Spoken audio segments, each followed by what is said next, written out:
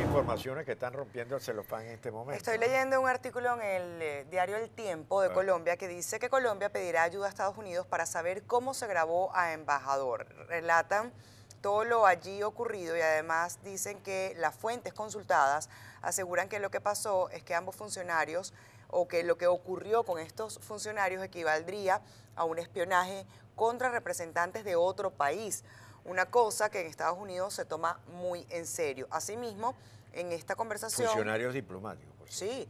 Asimismo, se están conversaciones desde ya con el hotel donde ocurrieron los hechos para pedirles que colaboren con las investigaciones y revisen las cámaras de seguridad para saber si se puede dar con los responsables. Dicen además que eh, ellos se encontraban en el Hotel Mandarín, que había una cena de gala por el diálogo interamericano, un prestigioso centro de pensamiento de este país. Además, tanto el restaurante como el bar del hotel se encontraban llenos y por eso ambos decidieron ingresar a un reservado que estaba localizado a la derecha del lobby. Allí esto tiene unos 10 metros por 12 metros. Es un lugar chiquito. Ellos entraron, ahí cerraron la puerta, que había unas mesas donde terminaron de acomodarse y además dice que en el reservado solo habían dos personas que se encontraban desmontando unos aparatos audiovisuales probablemente empleados durante una presentación anterior. Ambos jóvenes salieron y entraron varias veces, pero nunca estuvieron a una distancia en la que pudieran escuchar o grabar la conversación. Y también estoy abriendo acá mismo en el diario El Tiempo una información que dice que el ministro de Defensa habla sobre la polémica por el audio de Francisco Santos con Bloom. Eh, Carlos Olmes Trujillo se refirió en la tarde de este miércoles a la grabación en la cual el embajador de Colombia en Washington, Francisco Santos, habla sobre su gestión y indicó que no conoce con totalidad de la grabación, pues ha estado concentrado en las medidas de seguridad con el paro previsto para el día Bueno, de mañana. esto, todo esto en antesala a lo del paro de mañana, donde se verá una vez más que Venezuela tiene la mano metida allí. El Cas Tocando tiene una noticia que está reventando el celofán en este momento. Dice eh, Fuentes, relaciones entre Washington y La Habana a punto de romperse. Raúl Castro evalúa declarar persona no grata a la actual encargada de negocio, Mara Tecach.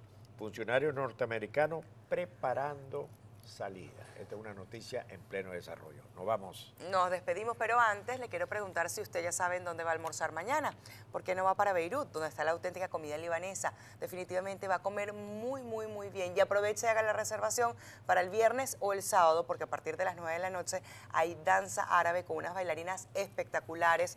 Salen con esos trajes, animan toda la cena. Además, los chiquitos cuando ven esas bailarinas salir es como están en Disney. Y no le cuento a los adultos mayores. Ay, se emocionan. Porque esas mujeres, mire, suenan la- la- las campanitas en la cintura como nunca. Usted se ríe porque sabe que tengo la razón. Tómense además una limonada con agua de rosa, se van a refrescar y ahora que ha bajado un poco la temperatura se pueden sentar en la parte de afuera, los van a atender muy bien y la comida es número uno, los ingredientes de primera, de verdad. De, verdad no, de- no se ría. En, Verdu- en Beirut, ah bueno, ciudadano, y entonces está la auténtica comida libanesa. Usted está pasado hoy. ¿De qué se ríe? No, nada. nada. Miren cómo se pone. No, Em- nada, nada, nada. Empieza a fastidiarme y me hace que me confunda.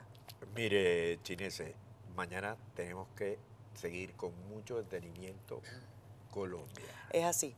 Hay una convocatoria que no es una protesta, es un llamado a paro.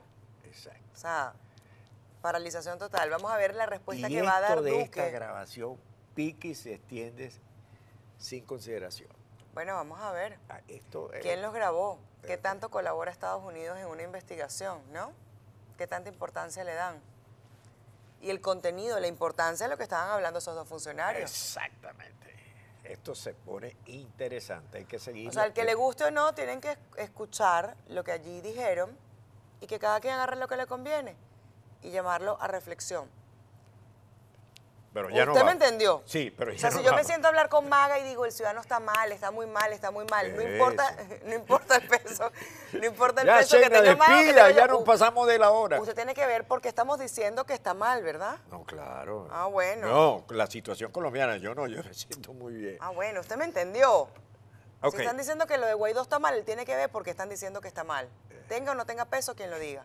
Usted se pasó de pequeño. No, de pequeños no. Hasta mañana. Vamos ya, ya, y de agua rosa. ya. Este programa fue presentado por Tiki Much, close to home. Beirut Abdoral, la auténtica comida libanesa. Tome Simax y llegue a los 80 sintiéndose de 40.